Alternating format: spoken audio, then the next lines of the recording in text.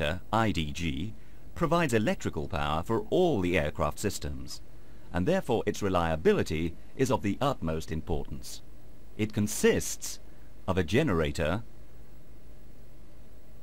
and a constant speed drive, CSD. The CSD converts the variable input speed of the engine into a fixed rotation speed for the generator. Thus the generator is able to provide a fixed frequency for the aircraft electrical network.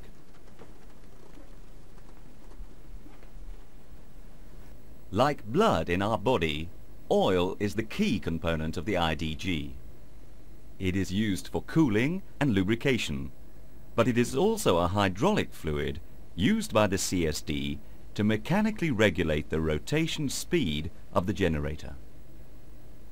So you can see just how mechanically complex the IDG is.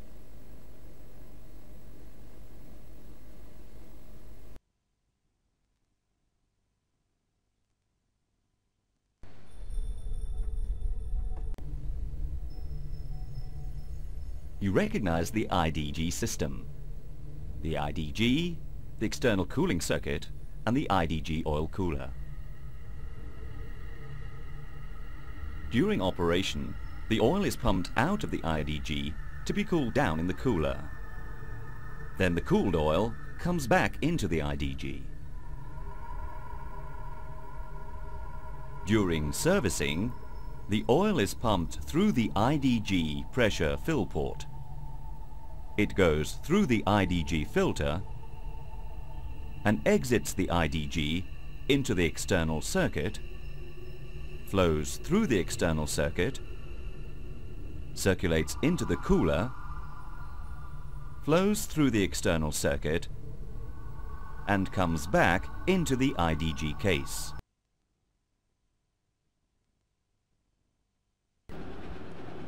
Read caution notes and follow the AMM procedure step by step to ensure that the entire IDG oil system will be properly filled with oil and all air pockets are expelled.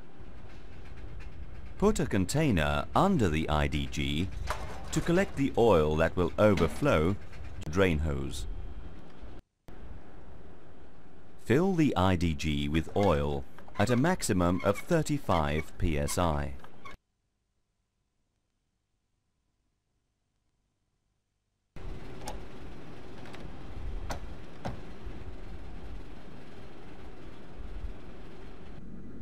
Do an engine dry motoring or start the engine at idle for at least two minutes.